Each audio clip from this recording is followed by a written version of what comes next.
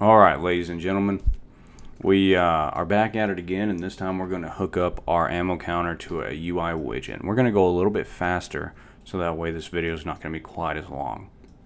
So here we have all of our logic that we just made. I cleaned it up a little bit and I added a nice little comment, which is very important. I like comments. I like to have everything organized so that if anybody looks at it in the future, things will be easy to read because if you look at all this what what does this say to you? If if we didn't just build this together it would you would have to write you would most likely have to write this out to figure out what's actually going on here. But since someone says reload logic and we named our little uh, custom events appropriately it, you can get a good idea what's actually happening here which is nice. All right. So first thing we're going to do uh, let's let's create let's create a new folder. We're gonna call this our UI folder. You don't have to do this. I just like to keep everything nice and organized. And we're gonna create a widget blueprint. We're gonna call this player UI, and we're gonna open this up. All right, so here we have pretty much everything. Uh, this is our canvas panel, which is basically what uh, contains everything that you can put on it and you can uh, put this on the screen. So first thing we're going to do is we're going to add a text box. Pretty much that's all we're going to have. And we're going to put it right about there. Yeah, right about there. All right. And the next thing we're going to do, we're going to anchor it to the bottom right. So that way, no matter what's, like, however this is resized, it will always be down here. Uh, let's change the color. Should we? Nah, let's just leave it like that. All right. So we're in the designer. So this is our little text block. This is gonna where, where our ammo is gonna be held. So now let's go to this graph over here. And there's so there's a, a better programming practice way to do this than what we're about to do. But we're gonna clean everything up as we go along as we get to it. Right now, we're just gonna get to do everything as we need it. So uh, do we need to do that? Yeah, let's just go ahead and do it. All right, so we're gonna do ammo. We're gonna do clip, and we're going to do reserve. We're gonna change these both to integers.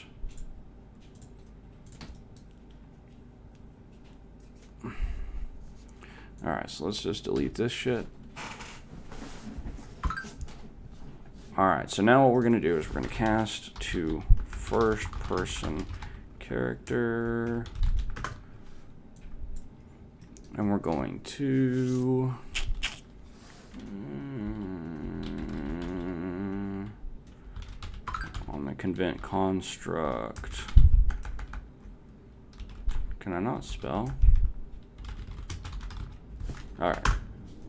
So basically, right off the bat, we're going to do get player character.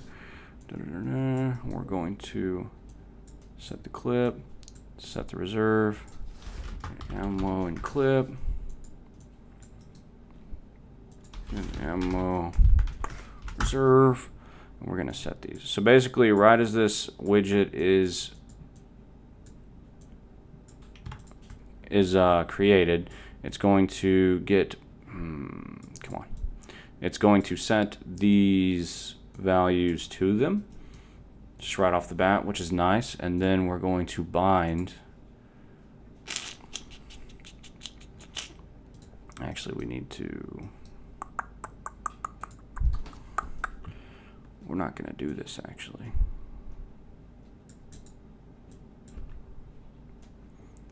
All right, I have a better way. All right, so what we're going to do is display. And we're going to change this to a string. Boom. And then we're going to to, to string, to string, append. We're going to do that same trick that we did in the first one. And basically, we're just going to double append so that way it looks nice and clean. And Fantastic. All right. So there we have it on the construct. And then we're going to bind this text to our display text, which will do that. And now we're going to do a custom event update UI. So we're going to update this UI. And basically what this is going to do is the same thing. It's just going to get that and uh, get whatever we have and then return it into the UI. All right. So now give me a second. I need to use the bathroom. I will be right back. All right. And we're back. So let's uh, get right in. So now we're going to go to our first person blueprint. And what we are going to do is we are going to move this out. And because we're using the event construct and it's going to call our our player and get the, the ammo values out of him, we're going to do the construct after we set all of this. So we're going to create widget. And if that didn't make sense, don't worry. Just, just understand that we have to create this blue, we have to create this widget after we set these values. So anyway, so we're going to create a widget and then we're going to set that widget to our player UI that we just created up here.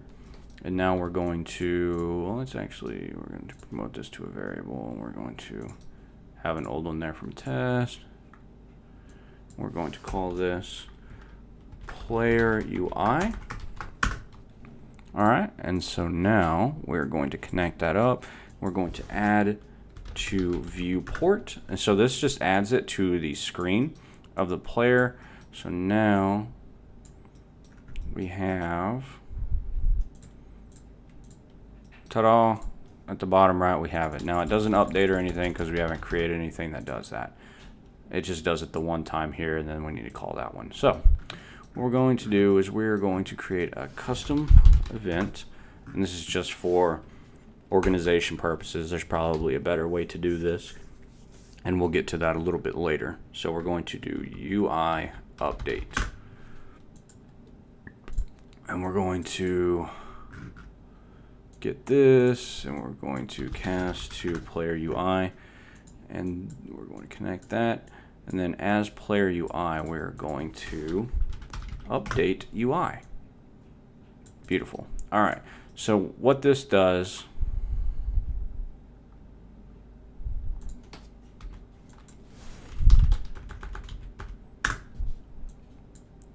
bam I was doing a little bit too much. All right, so this is all we need to do. And the reason we're doing this is just for organization's sake. Uh, it looks a little bit nicer whenever you do this. Uh, in my opinion, other people may have a different opinion. So when are we going to need to call this? So every time we shoot, we wanted we want to uh, move the or we want the number to show up as one less. So we're going to UI update after we shoot and also when we reload. So we're going to UI update. And so remember we have two branches on this one. So we're going to connect both those branches to the UI update because it doesn't matter the result of either of these. It just needs to update the UI. And then we're just going to do the same thing down here. There we go. And up here, the don't put it up here because these lead to this. This is technically the end of the code. These are just rerouting it to here. Think of this as kind of like it teleports the code to here and then it ends here. Well, now it ends here. All right, anything else we should do? I think that's good. So let's save, save, let's play. All right, so it's starting to look a little bit better.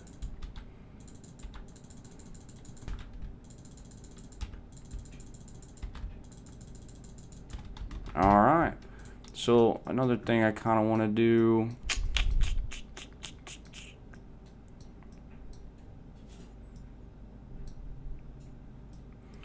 we should we should honestly put it on a little bit of a delay, right?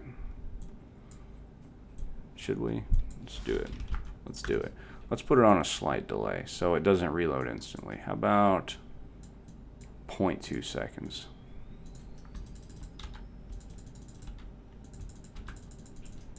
Can you still shoot while you're reloading? Absolutely.